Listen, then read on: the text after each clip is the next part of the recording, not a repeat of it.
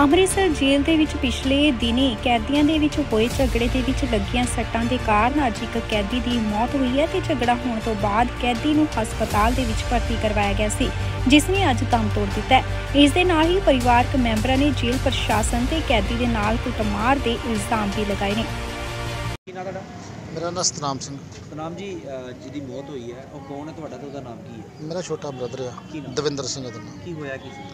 ਉਹਨਾਂ ਨੂੰ ਹੋਇਆ ਕੀ ਆ ਅੱਜ ਤੋਂ 15 ਕੁ ਦਿਨ ਪਹਿਲਾਂ 17 ਤਰੀਕ ਦੀ ਗੱਲ ਆ। ਇਹਨਾਂ ਦੀ ਜੇਲ੍ਹ ਦੇ ਵਿੱਚ ਆਪਸ ਵਿੱਚ ਥੋੜੀ ਬਹੁਤੀ ਝਗੜਾ ਹੋਇਆ ਵਾ। ਕਿਹਦੇ ਕਿਹਦੇ ਨਾਲ? ਆਪਸ ਵਿੱਚ ਅੰਦਰ ਮੁੰਡਿਆਂ ਨਾਲ ਹੀ ਹੋਇਆ ਵਾ। ਠੀਕ ਆ। ਮੁੰਡਿਆਂ ਨਾਲ ਝਗੜਾ ਹੋਣ ਤੋਂ ਬਾਅਦ ਇਹਨਾਂ ਜੇਲ੍ਹ ਪੁਲਿਸ ਪ੍ਰਸ਼ਾਸਨ ਨੇ ਉਹਨੂੰ ਕੁੱਟਿਆ ਵਾ।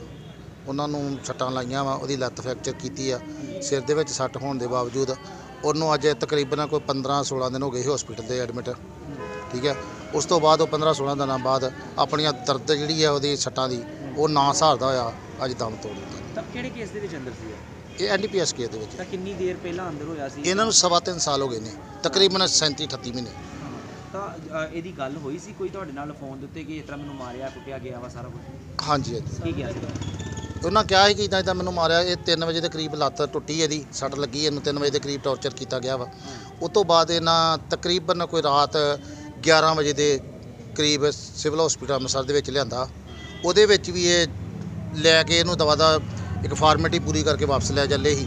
ਫਿਰ ਅਸੀਂ ਰੋਕਿਆ ਸੀ ਇਹਨੂੰ ਵੀ ਨਹੀਂ ਸਾਡੇ ਬੰਦੇ ਨੂੰ ਅਸੀਂ ਜਿੰਨਾ ਚਿਰ ਇਲਾਜ ਨਹੀਂ ਹੁੰਦਾ ਇਹਨੂੰ ਵੀ ਵਾਪਸ ਨਹੀਂ ਜਾਣ ਕਿਹੜੇ ਹਾਲਾਤਾਂ ਵਿੱਚ ਸੀ ਜਦੋਂ ਤੁਸੀਂ ਇਸ ਹਸਪਤਾਲ ਮਿਲੇ ਮੁੰਡੇ ਉਹ ਕਾਫੀ ਹਾਲਾਤਾਂ ਦੇ ਵਿੱਚ ਕਾਫੀ ਦਰਦ ਮਹਿਸੂਸ ਕਾਫੀ ਲੱਲਾਂ ਦੇਣ ਡਿਆ ਸੀ।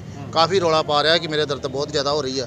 ਫਿਰ ਵੀ ਪੁਲਿਸ ਪ੍ਰਸ਼ਾਸਨ ਜਿਹੜਾ ਇਹਨਾਂ ਦੇ ਨਾਲ ਆਇਆ ਹੋਇਆ ਸੀ ਉਹਨਾਂ ਇਹਨੂੰ ਵਾਪਸ ਕਰਨ ਦੀ ਬੜੀ ਕੋਸ਼ਿਸ਼ ਕੀਤੀ ਆ। ਪਰ ਚਲੋ ਠੀਕ ਆ ਸਾਡੇ ਨਾਲ ਕੁਝ ਹੈਗੇ ਹੀ ਨੁਮਾਇੰਦੇ ਉਹਨਾਂ ਨੇ ਇਹਨਾਂ ਨੂੰ ਨਹੀਂ ਜਾਣ ਦਿੱਤਾ। ਅਸੀਂ ਇਹਨੂੰ ਰੋਕਿਆ ਵੀ ਇਹਦਾ ਇਲਾਜ ਕਰਵਾਓ। ਕੀ ਵਿਆਹਿਆ ਨੌਜਵਾਨ ਤੁਹਾਡਾ ਹਾਂਜੀ ਵਿਆਹ ਦੋ ਬੇਟੇ ਅਹ ਦੋ ਬੱਚੇ ਉਹਦੇ।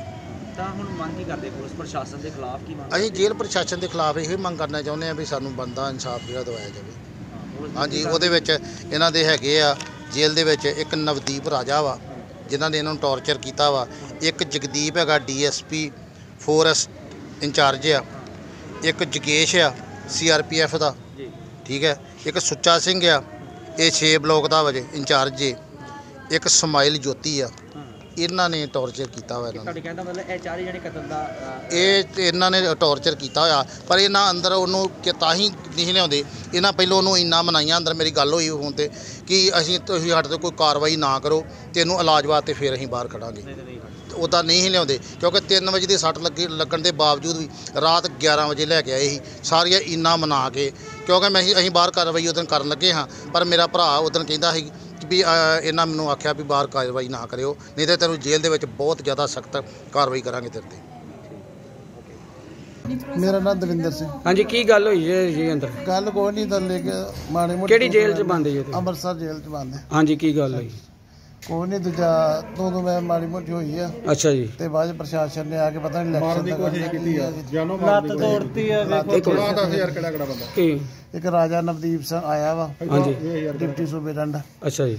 ਇੱਕ ਸਮਾਇਲ ਜੋਤੀ। ਸਮਾਇਲ ਜੋਤੀ ਆਇਆ ਉਹਨਾਂ ਨੇ। ਅੱਛਾ ਜੀ। ਨਾਲ ਸਾਰੀ ਗਾਰਡ ਨਾਲ ਲੈ ਕੇ ਆਏ। ਬਲਬੀਰ ਤੇ ਨਰਿੰਦਰ। ਸਾਰੀ ਗਾਰਡ ਨਾਲ ਲੈ ਕੇ ਆਏ ਆ। ਹਾਂਜੀ। ਤੇ ਆਉਂਦੇ ਡਾਂਗ ਚਾਲ ਕਰਾਤੀ। ਹਾਂਜੀ। ਹੂੰ। ਡਾਂਗ ਚਾਲ ਕਰਾਤੀ ਆਉਂਦੇ। ਹੀ। ਕੁੱਟਣ ਡੈ ਪਈ ਕੁਛ ਨਹੀਂ ਪੁੱਛਿਆ ਕੁਛ ਨਹੀਂ ਕਿਛਿਆ ਹੂੰ। ਤਾਂ ਜਿਹੜੀਆਂ ਸੱਟਾਂ ਸਾਰੀਆਂ ਪ੍ਰਸ਼ਾਸਨ ਨੇ ਲਾਈਆਂ ਵਾ। ਕੀ ਕੀ ਕੀ ਸੱਟ ਕਿਤੇ ਕਿਤੇ ਲੱਗੀ ਤੁਹਾਡੇ? ਸਿਰ 'ਚ ਲੱਗੇ ਆ ਟਾਂਕੇ ਲੱਗੇ ਆ। ਹੂੰ। ਤੇ ਆ ਲਾਤੇ ਫੈਕਟਰ ਲੱਤ ਤੋੜਤੀ। ਹੂੰ। ਕੀ ਸਮਝਦੇ ਤੁਸੀਂ? ਕਿਉਂ ਉਹਨਾਂ ਨੇ ਪੁਲਿਸ ਨੇ ਇੰਨਾ ਕੁੱਟਿਆ ਤੁਹਾਨੂੰ? ਪਤਾ ਨਹੀਂ ਜਾਂਦੇ ਇਹ ਗੱਲ ਦਾ ਪਤਾ ਨਹੀਂ ਕੋਈ ਵੀ ਜਾਂ ਕੋਈ ਇਲੈਕਸ਼ਨ ਦਾ ਜੋ ਸਾਡਾ ਕੋਈ ਰੰਜਿਸ਼ ਹੈ ਜਾਂ ਕਿੱਦਾਂ ਵਾ। ਹੂੰ, ਹੂੰ, ਸਾਨੂੰ ਇਹ ਗੱਲ ਦਾ ਕੋਈ ਨਹੀਂ ਪਤਾ। ਕੀ ਮੰਗ ਕਰਦੇ ਤੁਸੀਂ? ਕੀ ਮੰਗ ਕੀ ਹੋਣਾ ਤੁਹਾਡੀ? ਚਾਹੀਦਾ ਹੋਰ ਉਹਨਾਂ ਨੂੰ। ਹੂੰ ਠੀਕ ਹੈ ਜੀ। ਮਨਜੀਤ ਸਿੰਘ ਜਿਹੜੀ ਜੇਲ੍ਹ ਦੇ ਡੈਥ ਹੋਈ ਹੈ ਕੀ ਕੀ ਗੱਲ ਹੋਈ ਕੋਈ ਕਾਰਨ ਨਹੀਂ ਹੋਇਆ ਜੀ ਕੋਈ ਅਸੀਂ ਤੇ ਕੋਈ ਵੇਖਿਆ ਨਹੀਂ ਕਾਰਨ ਕੋਈ। ਪਰਿਵਾਰ ਹੁਣ ਦਾਖਲ ਸੀ 17 ਤਰੀਕ ਦਾ ਪਰਿਵਾਰ ਵਾਲੇ ਤੇ ਲੱਗੇ ਸੀ। ਪਰਿਵਾਰਕ ਮੈਂਬਰਾਂ ਦਾ ਹੈ ਕਿ ਮਾਰਕਟਾਈ ਕਰਨ ਦਾਖਲ ਹੋਇਆ ਨਹੀਂ ਯਾਰ ਮਾਰਕਟਾਈ ਦੀ ਕੋਈ ਗੱਲਬਾਤ ਨਹੀਂ ਇਹੋ ਉਹਨਾਂ ਕੁਝ ਕੁਝ ਅਫਸਰਾਂ ਦੇ ਨਾਮ ਵੀ ਲਏ ਨੇ।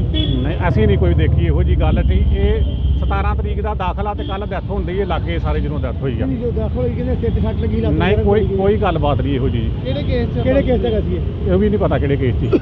ਕੀ ਕੀ ਨਾਮ ਸੀ? ਨਾਂ ਦਵਿੰਦਰ ਸਿੰਘ। ਕਿਥੋਂ ਕਾਰਵਾਈ ਪੱਥਾ ਇੱਥੋਂ ਕਾਰਵਾਈ ਪੋਸਟਮਾਰਟਮ ਦੀ ਹੋਣਾ ਕਾਰਵਾਈ ਕੀ ਹੋਣੀ ਆ?